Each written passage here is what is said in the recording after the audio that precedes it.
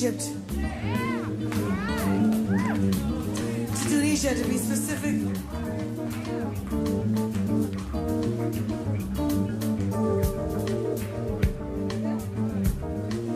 Michael Ruff with piano, vocal introduction.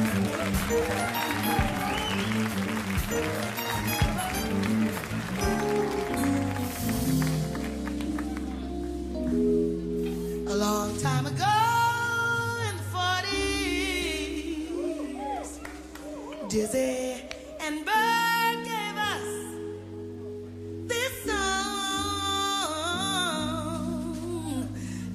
called it a night in Tunisia.